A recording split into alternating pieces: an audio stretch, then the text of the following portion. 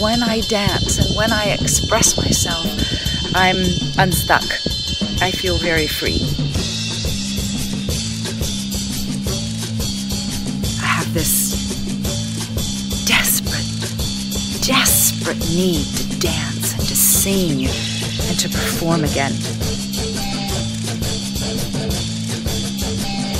Because I've been focusing on other things, and it's like a tapping inside of me that says, create. Every single one of us is an artist inside. It doesn't matter what you do for a living, there's something inside every single person's soul that has this ability to create.